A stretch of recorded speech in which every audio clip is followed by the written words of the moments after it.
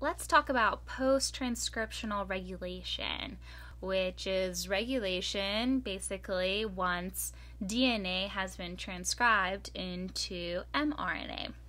And I've drawn out this little schematic for you here, and it kind of just shows you how a DNA strand has corresponding RNA strand and then the mRNA strand afterwards. And I'll sort of explain what all the different colors and words mean in just a little bit. So, once DNA is transcribed by RNA polymerase into the corresponding RNA strand, this RNA strand needs to get what I call a tidy little haircut and then don some protective outerwear before it can leave the comfort of the nucleus for its big debut into the cytoplasm uh, in the form of a fully processed messenger RNA or mRNA strand.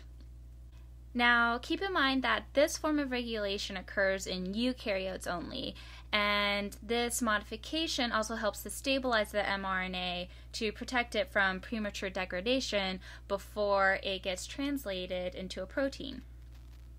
So, as you can see here, DNA gets transcribed one to one, base for base, into RNA. And you can see here that there are sections of the RNA that ultimately make it into the finished mRNA these short segments, which are termed exons. And they are the sequences that code for the ultimate protein product. And then there are short non coding segments of RNA that get cut or spliced out. And this would be the haircut that I alluded to earlier. And so these are called introns. And this is accomplished by a large molecular entity called the spliceosome. So the spliceosome binds on either side of an intron, loops the intron into a circle, and then cleaves it off, and then ligates the two cut ends of the exposing exons together, kind of cinches them together. And an easy way to remember which sequences are exons, which ones are introns, is that exons exit the nucleus and introns stay in the nucleus. So exons kind of stands for exit. Now, even though the mRNA has gotten its nice little haircut, it's not quite ready to leave the nucleus just yet. It has to grab what is called a 5' cap and a 3' poly A tail. Now, what are those things that I just mentioned? So, a 5' cap refers to changes at the 5' end of the mRNA. And remember that this is the phosphate end of the nucleotide bases in the mRNA. And um, some people like to remember this as F for 5 prime and for F phosphate. So that's how you can kind of keep the two ends straight.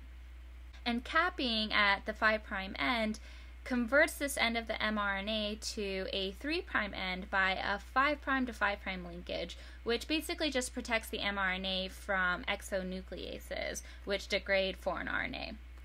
The cap also promotes ribosomal binding for translation and also helps the regulation of nuclear export of the mRNA.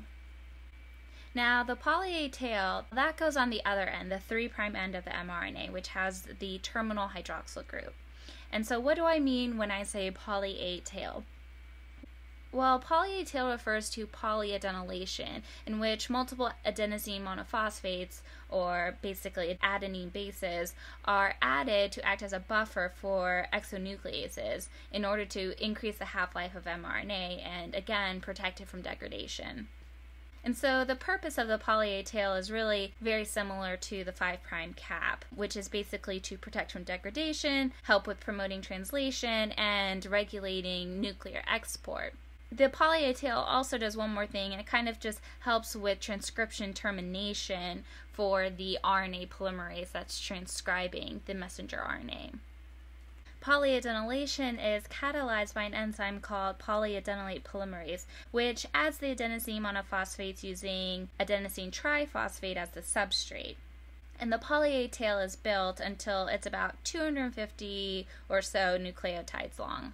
So overall, the 5' cap and the poly A tail help to stabilize the mRNA for translation.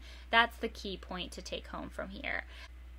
So once the mRNA has donned its cap and tail and had its intron sliced out, it's now ready to exit the nucleus to be translated into a protein.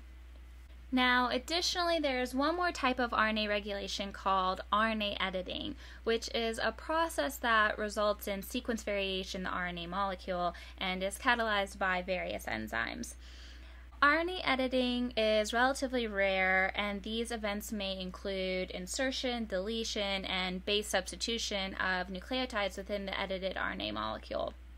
Now, one of these enzymes is called adenosine deaminase acting on RNA, or ADAR enzymes, which convert specific adenosine residues to inosine in an mRNA molecule by hydrolytic deamination. Another type of editing is called cytidine deaminase acting on RNA, or CDAR, which involves deamination of cytosine to uridine by cytidine deaminase.